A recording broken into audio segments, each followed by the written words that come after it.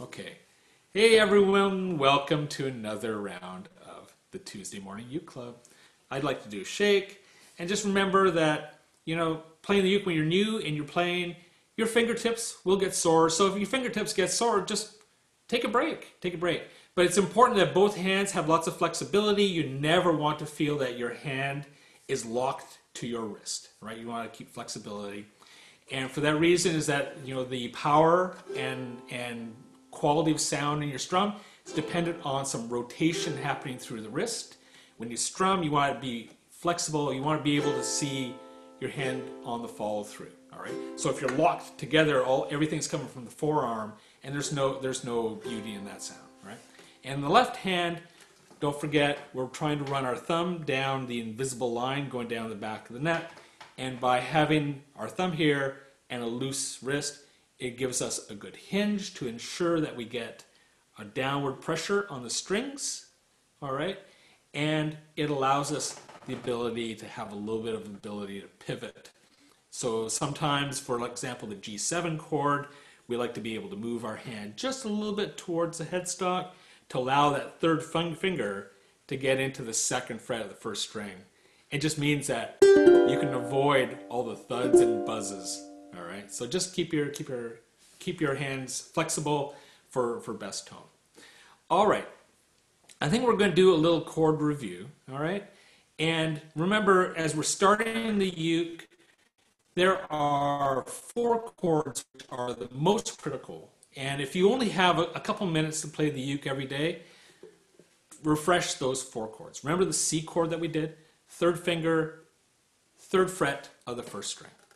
All right, and, let's, and for our strum, let's just take our, our thumb, we're just going to run it down across the, across the strings Remember, for good tone, we want to think about the strings as being waves on the ocean, our thumb or our pick or our other fingers being a boat that's riding over the waves, not crashing through the waves, all right? Have even pressure across all the strings. All right, and here we go. So that's, that's a really nice C chord, okay? Then our A minor chord, another one finger chord. We'll take our middle finger and we're gonna press at the second fret of the fourth string, the fourth string being the string closest to your chin. That sure makes a lot of sense. But the fourth string, string closest to our chin, second finger at the second fret, and again, let's get a good sound. Then make the F chord. When you're making the A minor chord, all we have to do to make F, we're going to drop our first finger at the first fret of the second string. So it's going to look like this. All right, here's how here's how the F chord looks. There we go. And then we switch over to the G7th chord. Nice thing about this going to G7 is that we keep our first finger in place and we take our second and third fingers, just move them. We can pivot our hand a little bit and drop our second and third fingers down at the second fret of the third string and the second fret of the first string, respectively. And there's G7. all right? So let's do this chord progression. So when you play a sequence or group of chords sequentially, that's called a chord progression. So here's a, here's a simple chord progression.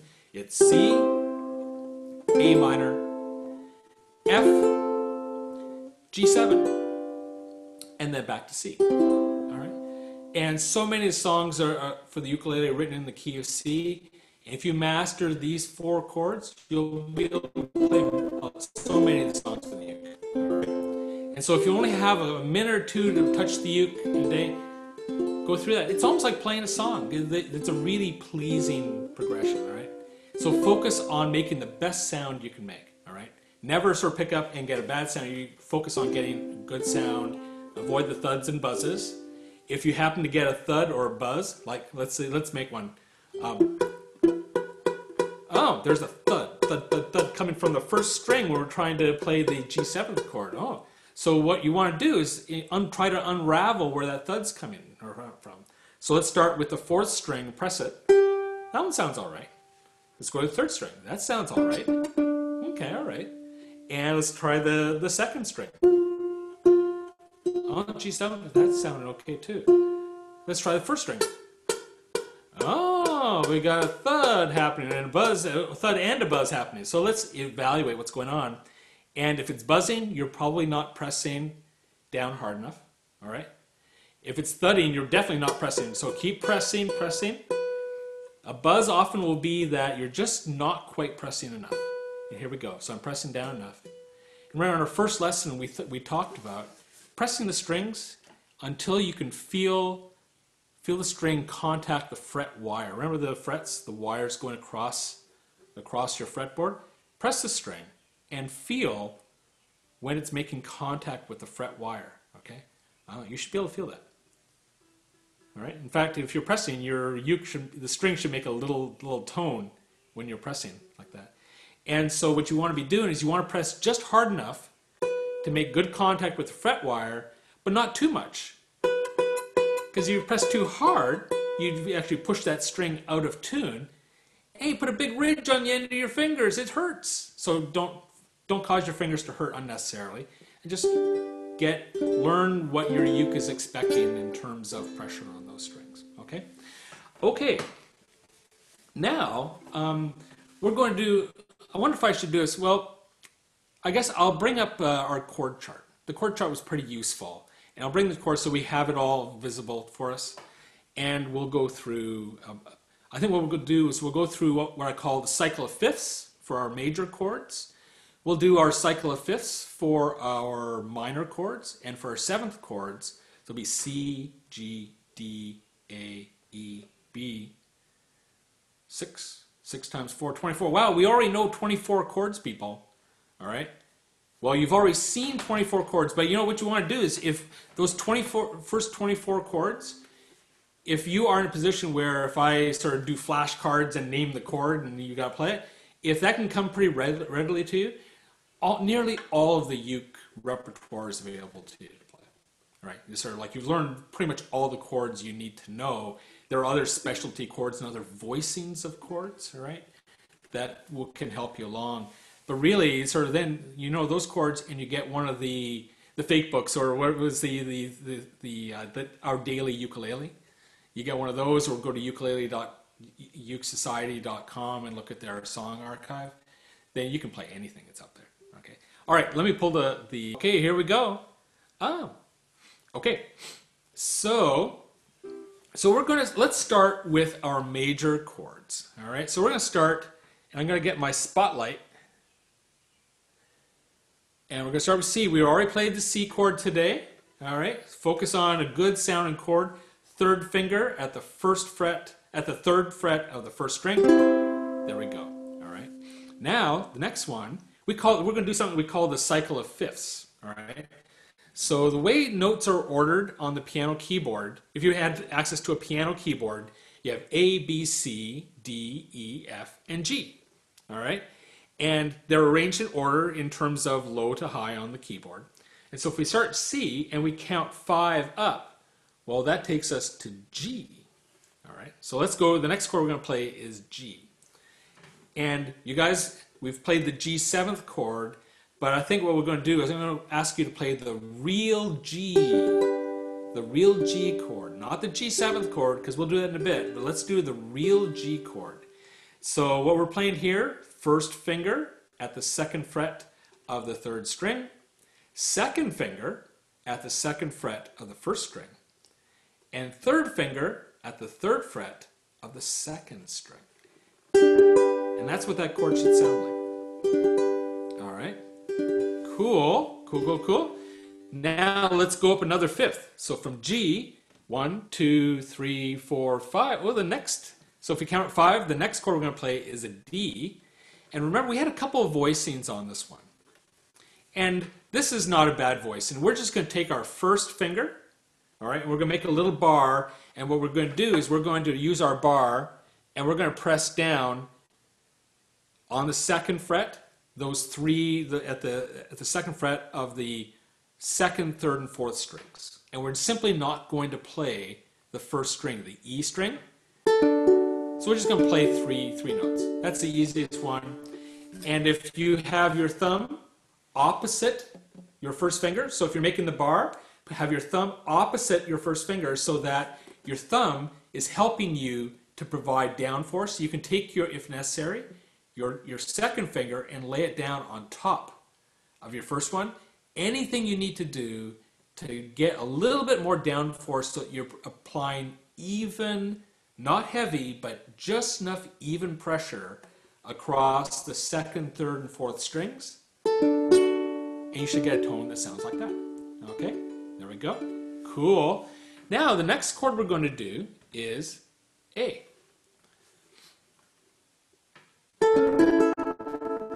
All right, it's a two finger chord, and first finger goes at the first fret of the third string, and your second finger goes at the second fret of the fourth string, the string closest to your chin. And your first and second strings are open.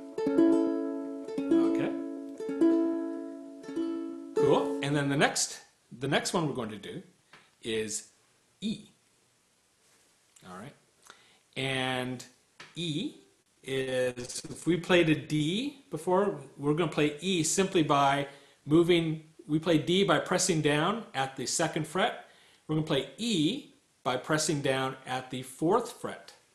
Same situation, just the second, third, and fourth strings.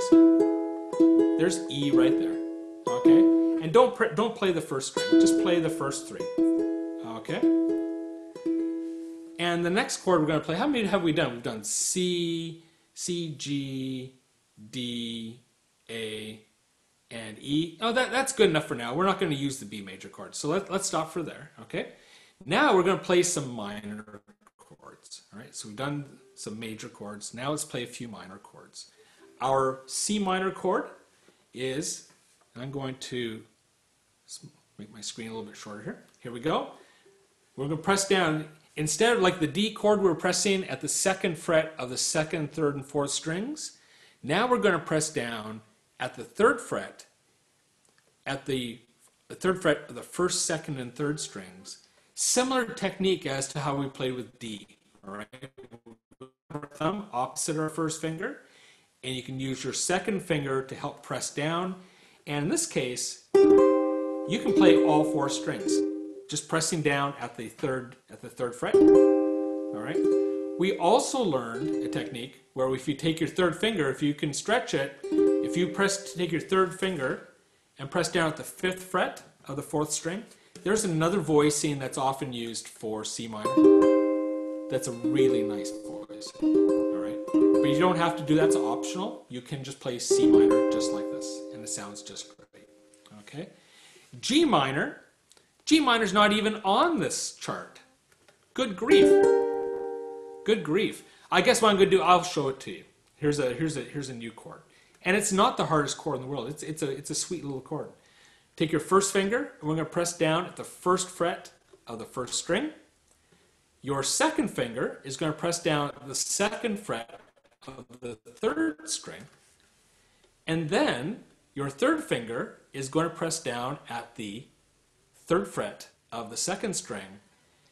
And you may think this kind of looks similar to, to the, the G major chord, but it's not that similar. Because if you were going to actually move your first finger to the second fret, um, that's not how we would play G. We play G like that. So anyhow, let's try this again. So first finger at the first fret of the first string and second finger at the second fret of the third string, third finger at the third fret of the second string, and that's G minor. Next chord we'll play is D minor. And we've played this one before. Well, once you guys start learning this one, because we're going to play next week, I think we'll play Tonight You Belong to Me, and it requires a D minor chord. So D minor, the open, the first string is open. The second, your first finger is going to be at the first fret of the second string. Your second finger is going to be at the second fret of the fourth string. And you're going to tuck in your third finger at the second fret of the third string. So once again, this is where sometimes if you have the ability, if you know you have the flexibility, just shift your hand up a little bit towards the headstock. You can drop, it makes it easier to drop your fingers in like that. And there's D minor. Cool. All right. And then we have A minor. Thank goodness, another single note chord. One of our first chords. All right. And then E minor. Remember we did E minor? Here it is right here, where it's a cool chord where it looks like your fingers are in a line. Your first finger is going to be at the second fret of the first string, second finger at the third fret of the second string, and your third finger at the fourth fret of the third string. Here we go. All right, there we go. Now let's go and play some seventh chords. Are you guys shocked? Just a few weeks ago, you guys didn't know any chords. Well, Sarah did, and Melanie did. She Melanie knew some chords, but now you sort of, are you are you getting stunned and amazed at? Wow, you know, I may not have all these chords directly underneath my fingertips, but you know what? If I had to play them, now I've I know I've seen them before, and I know how to I know at least know how to finger them, and I can start getting good at them. All right, here we go. So, um, muscle memory is important. Um, to play songs, it's really important to, to have some recollection that, you know, if I need to play C seventh, you need to have the muscle memory of having played that chord so that you can move to it. Okay. All right. C7, first finger, first fret of the first string. There you go. It's a beauty. G7, one of our first chords. Yeah, that's a good one. Oh, and I'm not a fan of this D7th. This is D7th. All right. So the, the way you'd play this one is check out the D major chord up here. See how see the commonality. You're going to be pressing with your first finger at the second fret of the second, third, and fourth strings, and then taking your middle finger and pressing at the third fret of the first string like that. All right. Beware of thuds and buzzes on this one. But you know what? It, they don't have this chord here, but I really, I really like this D7th, which uses more open strings. And let's remind ourselves on that. Don't do anything with your first finger. Your second finger goes at the second fret of the fourth string. And your third finger goes at the second fret of the second string, leaving the first and third strings open. And there you go. And in my mind, there, there are different voicings of the chord, but I like that one. It's just a little bit more mid-rangey and it's more susceptible. It's more ability to use um, suspensions and cool little tones by moving your fingers around instead of locking into this one. Okay. All right, D7, A7th, and we've learned uh, different voicing for this A7th chord. We've learned the single single finger version, which is simply your first finger at the first fret of the third string. All right. However, this, this voicing has your third finger at the third fret of the second string, and that works well too. All right. So let's talk a little bit about voicings. Voicings are simply a different ordering or stacking of the notes that compose comprise up a, a chord. And you can take a chord like C major, which is you know, essentially it's um, G, C, E, and another C at the top. All right, that's how they vo this particular one. But you can play a C like this, and it's just different order of the notes. And different order of the notes just gives you a different tone. And depending on the song you're singing or the you know, song you're playing, being able to have a different voicing of that chord might mesh better with a vocal, all right, or another instrument for example. Okay, so it's um, as you as you move along, having a few other options in terms of voicings to play your chords would be is a is a cool thing. Okay, okay, I'm going to remove the the chord chart. Here we go. Any any comments? Is it, you know we spent a little bit of time on that one spent quite a bit of time, but it's useful, right? So the idea of it's a, site, this cycle of fifths. You start with the first one, go five, go five, go five, and eventually you of, eventually if you keep going the whole cycle of fifths, you'll come back around to, to where you started. Um, but it's amazing we have, you know, there's there's 15, you know, 15, 15 chords there right now, okay? So, all right, now we're going to do, um, let's see, let's do our some right hand skills, all right? So, um, we've done so much in our chords. Last week we did some note skills, and I don't know if we'll get to that any more of those note skills today. I'd like to sort of do merrily we roll along again, uh, just to kind of keep it fresh. But let's let's talk about what we're doing here. A lot of our strumming so far has been thumb, okay, and a lot of people could play their entire lives just doing thumb strums. All right. And nice thing about the thumb strum is that it's really mellow. All right. So using the meaty part of your thumb and, and strumming right here at the base of base of the fretboard, that is the most mellow sound your uke is ever going to give you. All right. And for a lot of folks, it's just it's easy and it's sort of like low stress and it, it sounds beautiful. But if you want to sort of like play play some some other cooler things, there's more strums that we can do, right? So let's review our. Let's first of all let's review our other strums. So we've done the thumb strum. Now we're going to do our brush strums. This is the beetle strum where there's a, a bug that's landed on your strings and you want to get them off. Take off murder hornet All right, And uh, there we go, and it's on the beach, and then not bugging, not bugging your strings anymore. But you, we're just going to do a brush where we're going to take all of our fingers and brush. And to do this properly, you can't have any tension. There's a lot of rotational, there's rotation going through your wrist to play this. So we're going to come across, and you should see the top of your hand on the follow through of this strum. All right, I'm exaggerating a little bit, but not really. All right. To do beautiful strumming, you must follow through. Must follow through. All right. You only have four strings. Let's make sure that every string gets its opportunity to play. All right. And so by hitting every string when you're strumming, you get the most volume and the best tone of your instrument. So the brush strum, another angle. We're just going to take all our four fingers and we're going to brush. Brush with your fingernails. Okay? And the strum is one, two, three, four. It's more of a, it's a quarter note strum. All right. Okay. There's that one. Then we're going to do our just do downstrokes with our finger. Okay. Your index finger gives you two different tones. Your fingernail is going to give you a brighter tone because it's kind of like hard, like you know a, a flat pick. And then the other side of your finger is just well, it's just your finger, and it's going to be more mellow, like your thumb stroke, right? But what you want to be doing, let's just do downstroke with your finger. And we want brush perpendicular to the neck. So we want we don't want to be going across like this or down like this. We want to hold our instrument so that our strum, our finger, our downstroke is going straight, straight across. Straight across. So one, two, three, just with our finger. And sometimes it's hard if you're watching someone strum, you're thinking, what are they doing? Are they, you know, in this case, I'm only contacting the strings on the downstroke. Downstroke. Moving my hand up, again, getting ready for the next downstroke. Moving my hand up, getting ready for the next downstroke.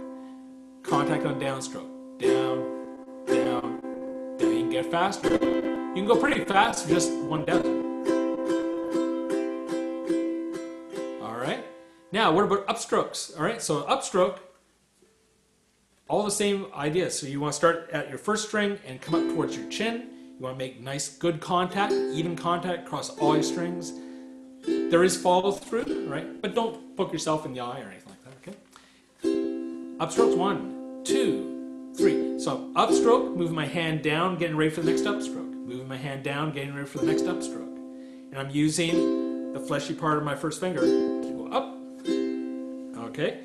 So now, let's do a little more sophisticated strum where we're going to do down and up. Down, up. You're making contact on the downstroke and the upstroke. Down, up, down, up. Make sure all the strings are being contacted. Notice that one downstroke is a little brighter, upstroke's a little darker. Yin, yin, yin, yang. Let's go one and two. Go a little faster.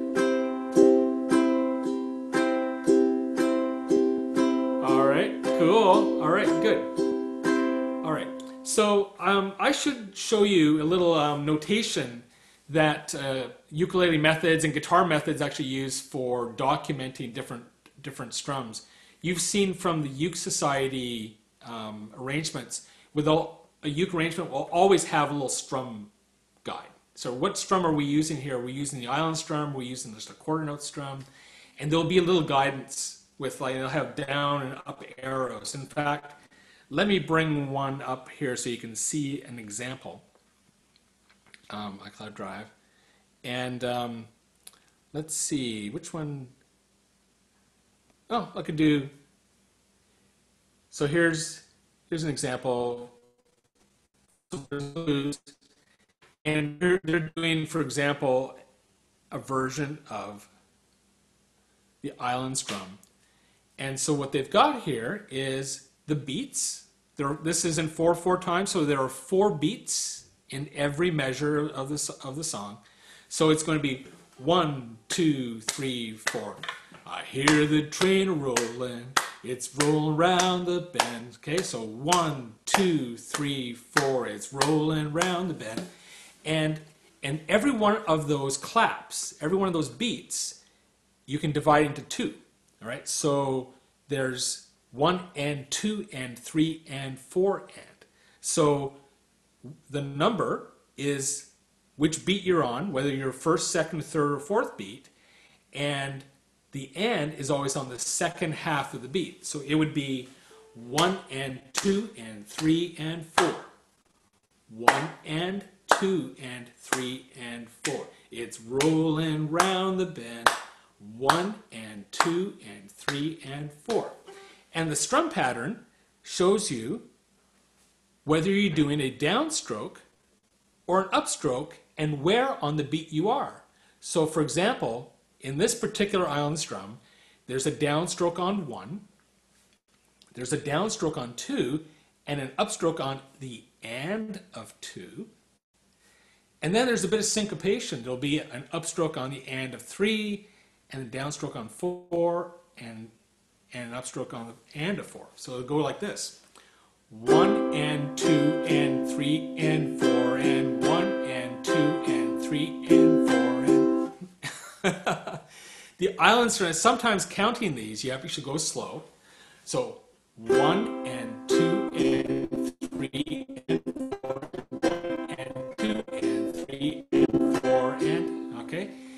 Sometimes the strums can be easier easier to feel than they are to count. Right?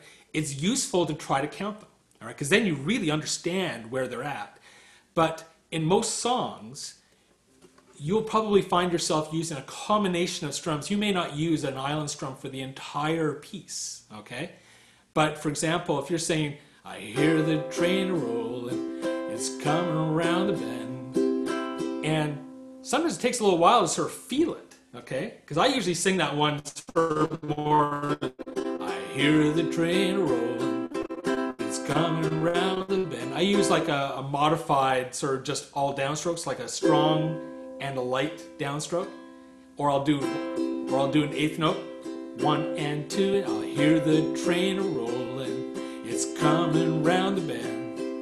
And but if you do going to do that with an island strum, sometimes it takes it's easier to feel it. So I hear the train rolling, and I'm gonna mess it up. I hear the train rolling. It's coming around the bend. I ain't seen sunshine since I don't know when.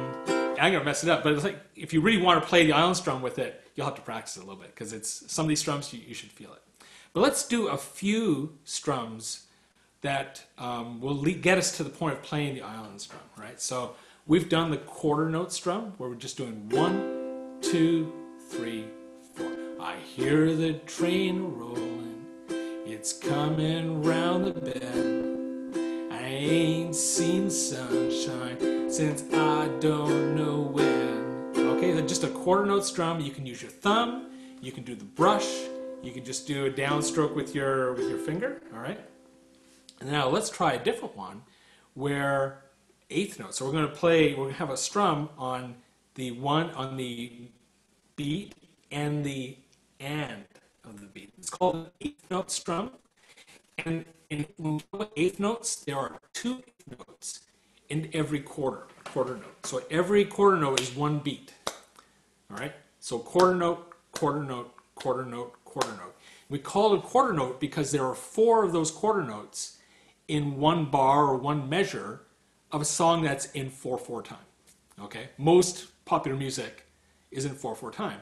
But you could have songs that are in 3 4 or 6 8. All right, anything that's a waltz time that you dance a waltz beat to is in 3 4 time. So 1 2 3 2 2 3 3 2 3 4. But if it's in, if you know, for example, 4 4 time, there are four beats and we call each one a quarter note. And if we have eighth notes where each quarter note can be divided into two eighth notes, right? So one and two and three and four. One and two and three and four. So we now have two notes being played in the unit of time that you give to a quarter note. Okay. And what we'll do here is you can either play those just as downstrokes, but there's a limitation because eventually you're sort of you're moving your hands, your right hand really fast, right? And it can be more comfortable to play up up and down, right? So let's just start just doing downstrokes. So one and two and three and four. We're just doing downstrokes. So we're doing down, move your hand up, get ready for the next downstroke. So your hand's moving pretty fast. One and two and three and four and one and two and three and four. One and two and three and four. One two and three and four and one and two and three and four and one. Okay?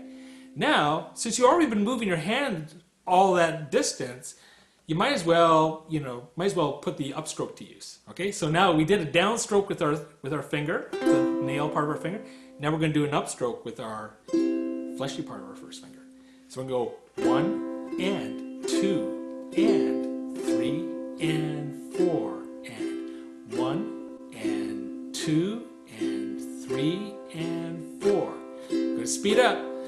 One and two and three and four and one and two and three and four and one and two and three and four and one and two and three and four and one. All right, good work. Now, part of your practice should be you know, it's it's fine to just hang out on one chord. And you don't even don't even need to play anything. You can just use you can just be practicing your chord shapes or your strumming patterns to the My Dog Has Fleas chord, to the A minor seven.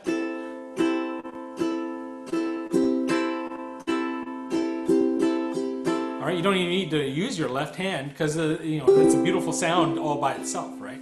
So now let's try a different. Let's try a different. Um, well, actually, let's do another chord uh, strumming pattern. Let's do maybe one, two, and three, and four, and one, two, and three, and four, and one. So we're going to do a quarter note, strum a quarter note, and then beats two, three, and four are going to be the eighth note strum. So it's going to go one, two, and three, and four, and one, two, and three, and four. And look how much I'm I'm following through. There's none of this sort of, I'm not sort of like, you know, tight, you know, no sort of tight, you know, not getting across all the strings. To get a really good strum, you want to follow through. So, okay, so one, two, and three, and four, and one, two, and three, and four, and one. Okay, now let's make it a little more complex and let's do our favorite chord progression in our left hand C, A minor, F, G7, C again, all right? So we're just, let's start just with a quarter note strum. One, two, three, four. A minor, A minor. Get ready for F, F, two, th- get ready for G7, three, four. C again. Get ready for A minor. Good.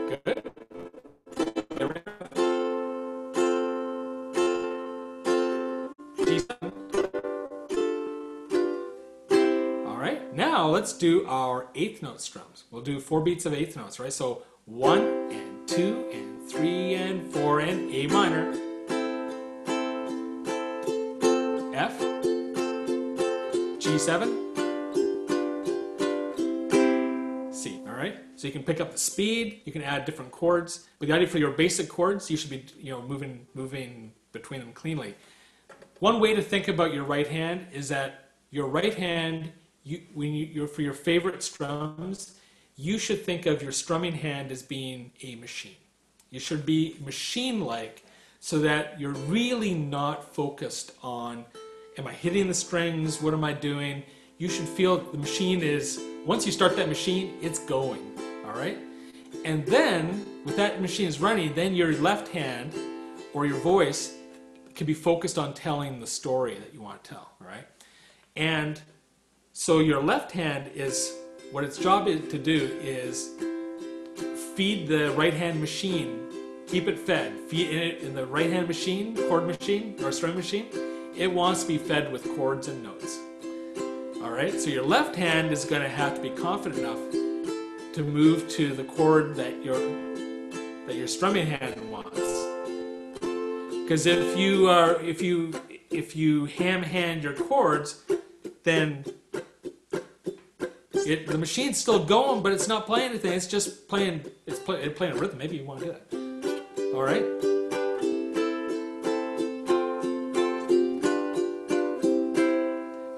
And if you listen carefully to what you're playing, going from C to A minor to F to G, you'll notice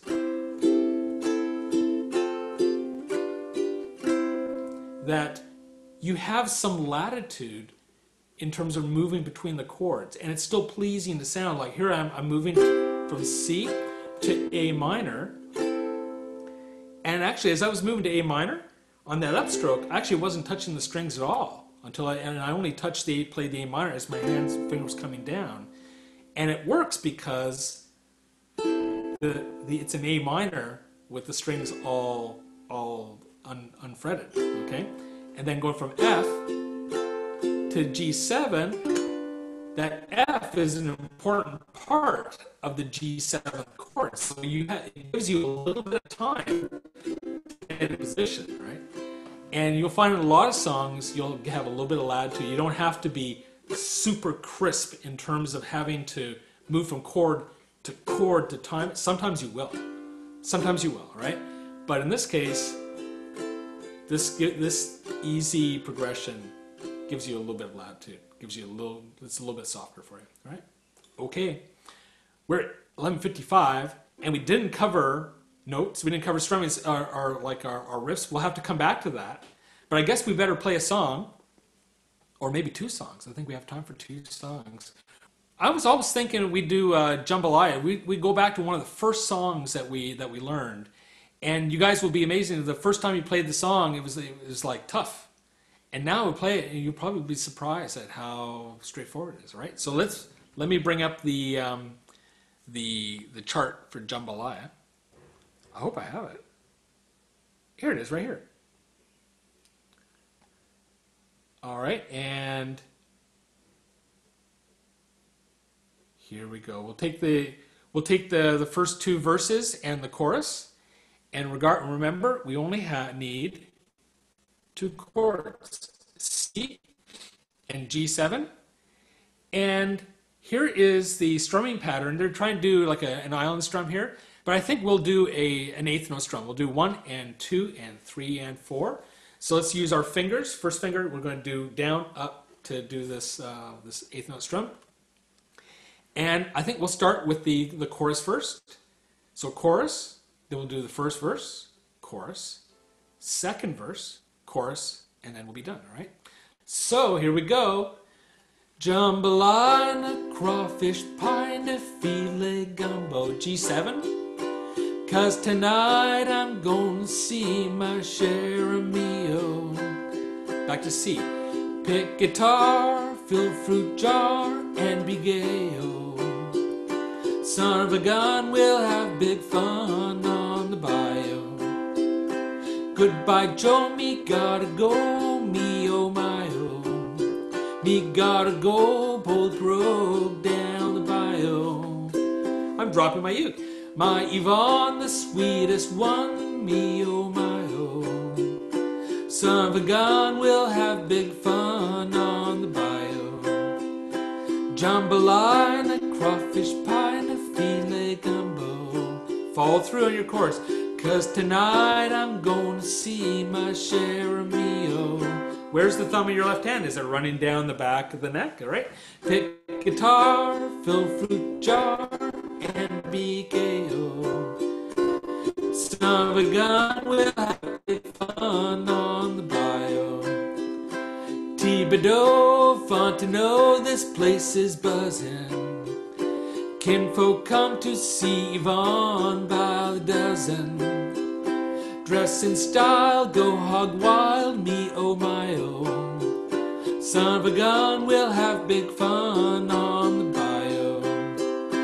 Jambalaya, crawfish pie, no filet gumbo. Cause tonight I'm gonna see my share of Rio. Oh. Pick guitar, fill fruit jar, Son of a gun, we'll have big fun on the bayou. Son of a gun, we'll have big fun on the bayou. And there we go. All right, cool. Here we go. We're back. Okay, we have time to do another song. Let's do another one. How about um, let's see. Um, oh, let's let's do the we, last week we played Ring of Fire by Johnny Cash. Let's do Folsom Prison Blues by Johnny Cash this time. Let me. Um, I think I've got Folsom up here. Here we go. And next time when we review our um, the, opening, which goes.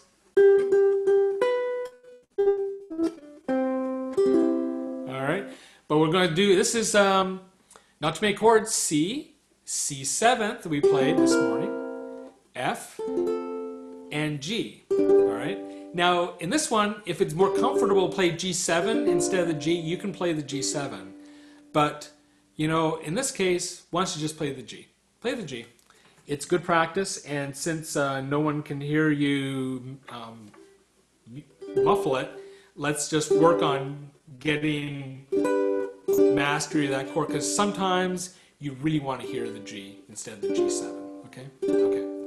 So we're going to start and we're going to do, um, we're just going to do, I'm going to change my strumming patterns. I'm going to start off with just a quarter note strum.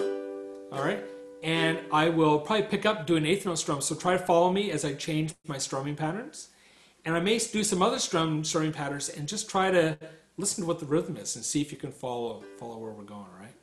All right, so I hear the train a rolling, it's rolling round the bend, and I ain't seen sunshine since I don't know when. There's C7 and now F, and I'm stuck in Folsom Prison, and time keeps dragging on. There's C, getting ready for G, but the train keeps on rolling down to San Antone. Eighth note strum. When I was just a baby, my mama told me, son, always be a good boy, don't ever play with guns. But I shot a man named Reno just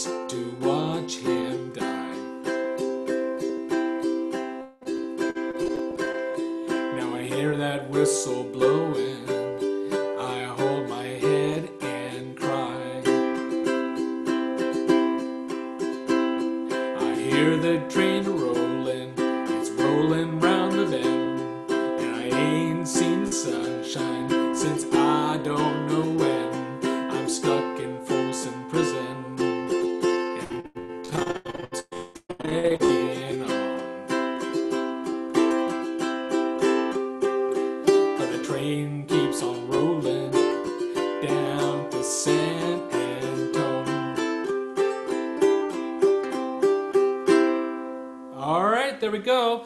So, one of the cool things about playing the uke with other people is that you don't have to be playing exact, precisely the same strumming pattern. So here, you can have someone who's kind of like playing more rhythmically, sort of like simulating the train rolling down the tracks. And if what you've got just play the chord as your as the chord changes okay nothing wrong with that you're still adding to the song you're still enjoying the song you're just doing a quarter note strum as long as people are in time, if you're playing quarter note strum, be in time with the beat of the music. If you're going to play a single note, a single uh, chord as the chord changes, make sure you're there. All right, and you can have any number of people playing the uke, and it all sound like like you know a group of ukes making music, right? So, um, so you know when you get together and play with other people, no uke needs to be left behind, right? Play what you can, right, and sort of add add add your voice. Right? Okay, thanks for another round of the Tuesday morning uke club. I'm gonna I'm going to un- unmute everybody so we can chat.